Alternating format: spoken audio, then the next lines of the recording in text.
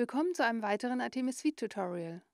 In folgendem Tutorial erfahren Sie mehr über die flexible Arbeitsweise mit dem Mark Analyzer. Mithilfe des Mark Analyzers können Sie Zeitsignale gleichzeitig hören, analysieren und filtern. Deshalb bezieht sich der Inhalt eines Mark Analyzers im Gegensatz zum Data Viewer immer nur auf eine Marke. Im aktuellen Beispiel wird zunächst die FFT versus Time Analyse für das Geräusch eines Druckers berechnet. Der Mark Analyzer stellt standardmäßig das Zeitsignal und alle zuvor ausgewählten Analysen dar. Klicken Sie auf das Playback-Symbol und die aktuelle Marke wird abgespielt.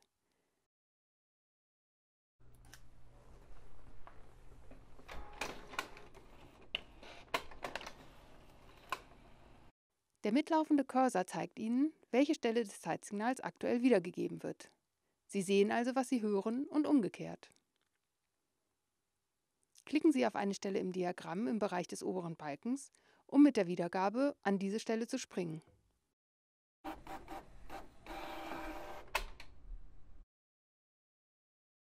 Durch Verschieben der grauen Markierung am Anfang und am Ende der Diagramme mit Zeitachse können Sie den zeitlichen Abschnitt des Signals für die Wiedergabe eingrenzen.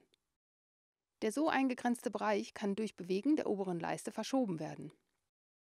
Im aktuellen Beispiel sollen die unterschiedlichen Arbeitsschritte des Druckers getrennt voneinander betrachtet werden.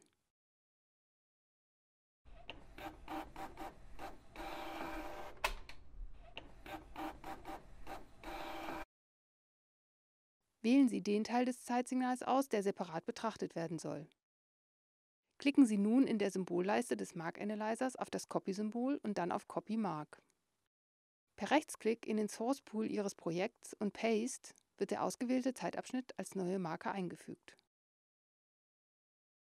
Wiederholen Sie diesen Vorgang und erzeugen Sie beliebig viele neue Marken.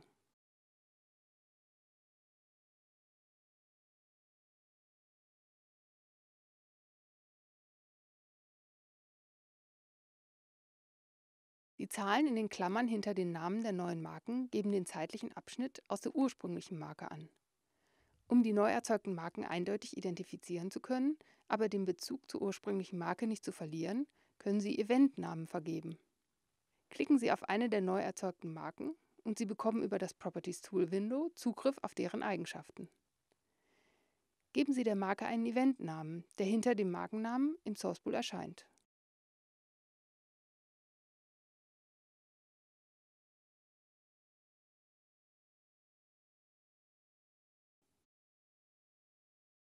Im Properties-Fenster des Mark Analyzers können Sie die Darstellung des Zeitsignals abwählen, um Platz für weitere Analysen zu gewinnen.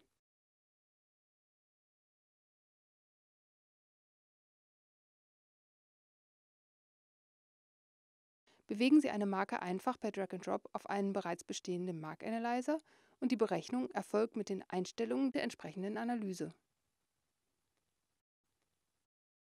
Wiederholen Sie den Vorgang mit einer weiteren Marke und drücken Sie vor Loslassen der Maustaste die Steuerungstaste. Dadurch werden die Berechnungen der Marke in einem neuen Mark Analyzer durchgeführt, der sich als weiteres Dokument öffnet. Ähnlich wie bei der Berechnung weiterer Marken können Sie weitere Analysen aus Ihrem Pool Project in einem Mark Analyzer bewegen. Drücken Sie vor Loslassen der Maus die Steuerungstaste, um zusätzliche Analysen in einem geöffneten Mark Analyzer darzustellen. Ohne Drücken der Steuerungstaste erscheint nur die neue Analyse im Mark Analyzer. Für eine übersichtlichere Darstellung der beiden Diagramme klicken Sie in den Properties des Mark Analyzers auf One Column for each Analysis. Bewegen Sie nun eine weitere Analyse per Drag and Drop in den Mark Analyzer und drücken Sie dabei vor dem Loslassen erneut die Steuerungstaste. Sie können die Darstellung von Analyseergebnissen auch wieder abwählen. Gehen Sie dafür auf Results in der oberen Leiste des Mark Analyzers und entfernen Sie den Haken vor der entsprechenden Analyse. Für eine schnelle Aufbereitung Ihrer Analyseergebnisse drücken Sie auf das Export to-Symbol. Wählen Sie zum Beispiel Export to PowerPoint und der Inhalt des Mark Analyzers öffnet sich als neues PowerPoint-Dokument oder wird als neue Seite in ein geöffnetes Dokument eingefügt. Nun haben Sie einen Einblick in die flexible Arbeitsweise mit dem Mark Analyzer bekommen. In weiteren Tutorials erfahren Sie mehr über die Funktionen im Mark Analyzer, zum Beispiel zur Wiedergabe und Filterung von Zeitsignalen.